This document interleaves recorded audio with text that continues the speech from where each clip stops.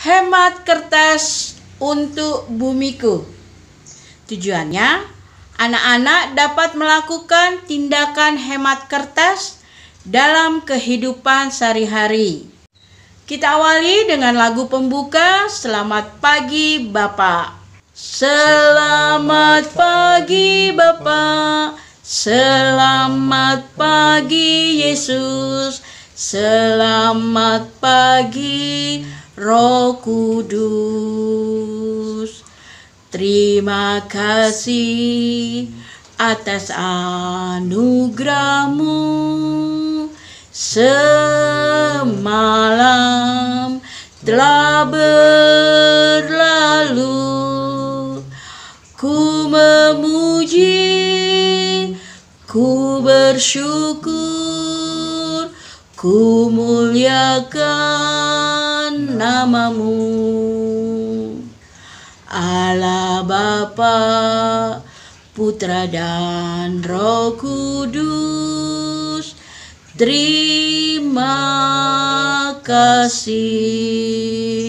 Anak-anaknya Bu Siska yang terkasih Masih ingat pada pendalaman APP yang pertama Sejuta cerita di balik selembar kertas Lalu pada pertemuan kedua adalah Aku, Kamu, Kertas, dan Bumi Sedangkan untuk pertemuan yang ketiga ini, hemat kertas untuk bumiku.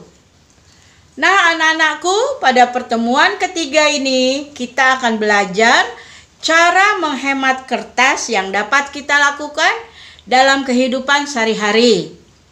Semoga aksi hemat kertas yang kita lakukan dapat menginspirasi orang lain sehingga bumi senantiasa terselamatkan. Doa pembukaan. Tuhan Yesus, sahabat kami, kami bersyukur karena Engkau menganugerahkan kesehatan kepada kami. Berkatilah agar dalam pertemuan ketiga AAP ini kami mampu mewujudkan aksi hemat kertas dalam kehidupan kami Terima kasih Tuhan Yesus, Engkau kami puji dan muliakan kini dan sepanjang masa. Amin. Kisah kehidupan, anak-anak, perhatikanlah gambar di bawah ini. Nah, anak-anak menjawab pertanyaan-pertanyaan berikut. Satu, terbuat dari apakah barang yang ada di gambar satu dan dua?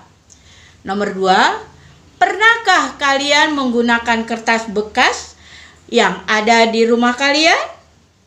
Nomor tiga, apa yang kalian lakukan dengan kertas bekas tersebut? Nomor empat, pernahkah kalian menggunakan kardus bekas untuk bermain seperti dalam gambar tiga dan empat? Nomor lima, apa saja yang pernah kalian buat dari kardus bekas? Bacaan kitab suci Yohanes 6 ayat 1 sampai 15. Marilah kita mendengarkan sabda Tuhan. Sesudah itu Yesus berangkat ke seberang danau Galilea, yaitu danau Tiberias.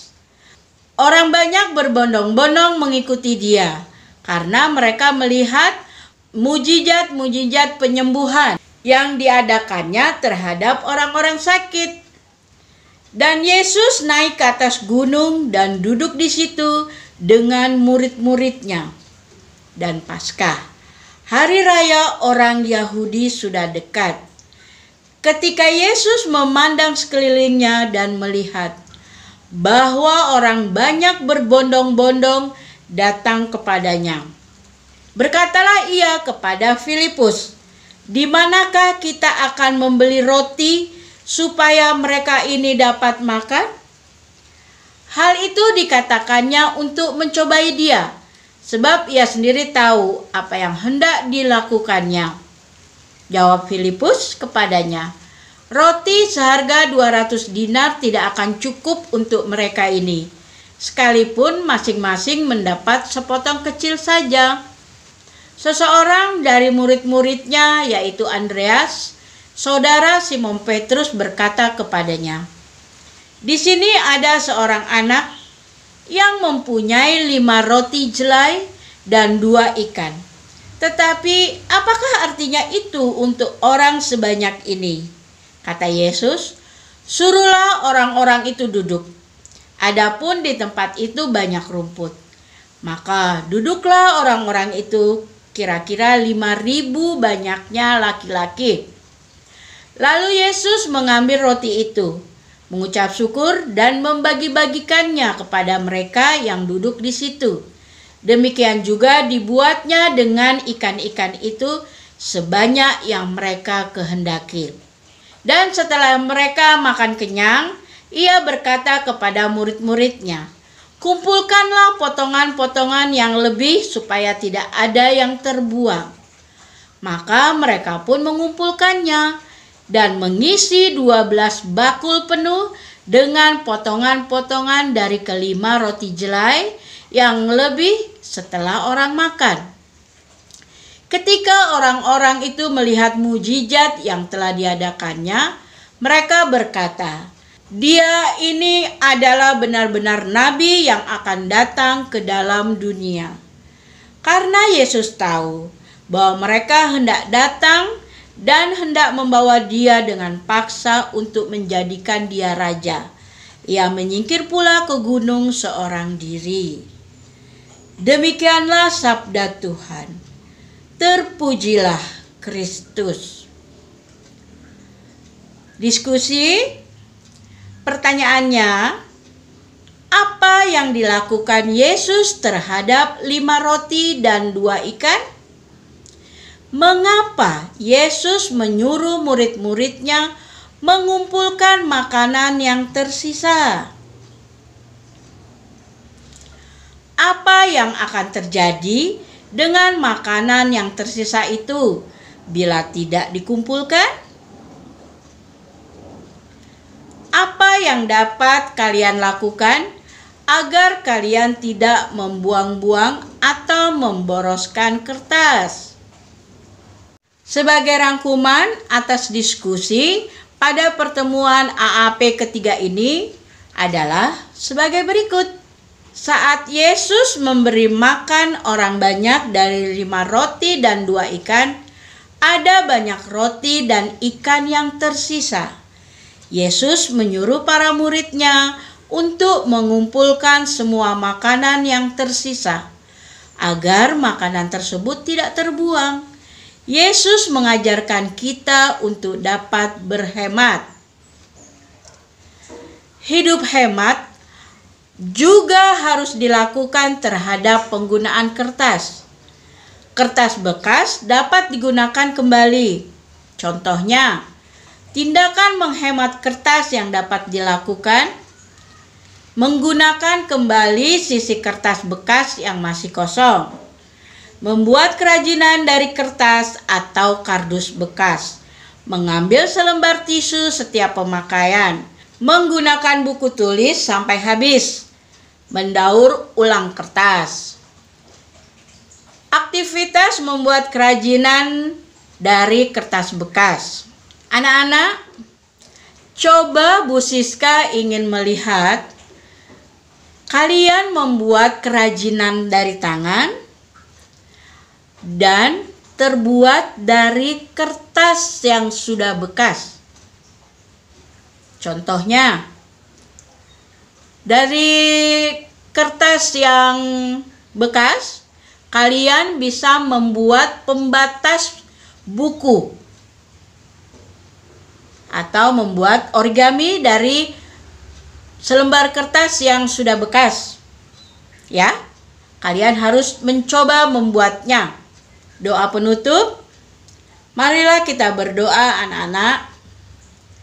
Allah yang penuh kasih, kami berterima kasih karena dalam masa Advent ini kami diingatkan untuk dapat memelihara alam ciptaanmu dengan cara menghemat penggunaan kertas. Ajarilah kami untuk dapat bersikap bijak dalam menggunakan kertas dalam kehidupan sehari-hari demi Kristus Tuhan dan pengantara kami. Amin. Untuk lagu penutup, Maria, kau penuh berkat dari puji syukur nomor 450. Maria kau penuh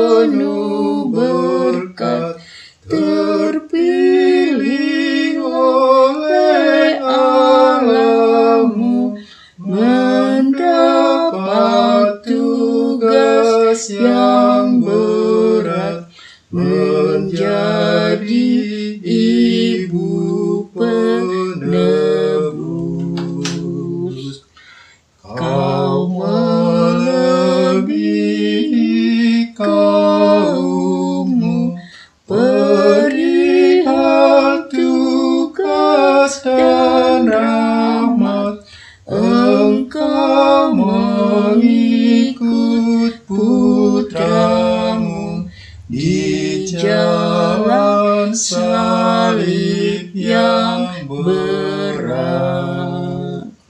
Sekarang kau teladanku di dalam ketaatanmu bersama gereja putramu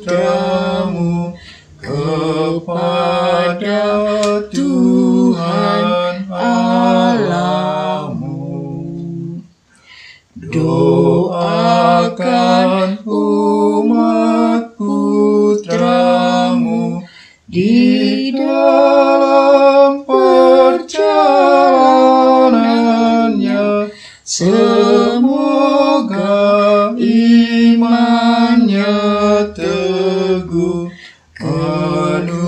menuju kerajaannya. Hore! Nah, anak-anak, pada pertemuan ketiga ini AAP sudah selesai. Selamat menyambut Hari Raya Natal. Sampai jumpa. Shalom.